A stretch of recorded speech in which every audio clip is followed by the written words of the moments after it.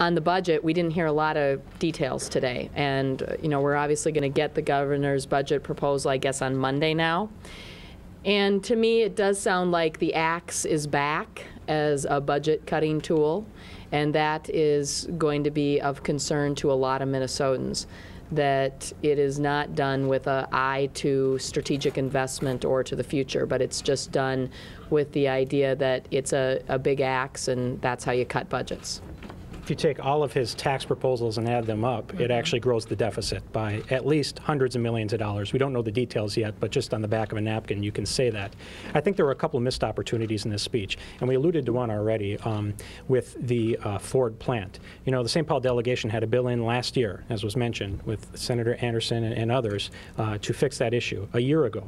Uh, we've been working hard in the legislature on an an- angel investment tax credit.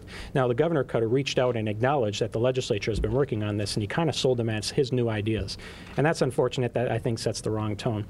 The other missing piece was health care, general assistance medical care. When he vetoed that um, important health care last year, he said he did it to send a signal and to try to fix the problem. Uh, we heard nothing about him trying to fix that problem. Now, in the Senate and the House, we are moving forward. We've been working with his administration, but he really did not uh, speak to such an important issue that we, that's been on all of our minds since that veto happened. And uh, I, I just wish we would have heard something about that as well, because we're moving forward on that, and we're trying to get that done so we can tackle the budget issues a little later. Well, I think, I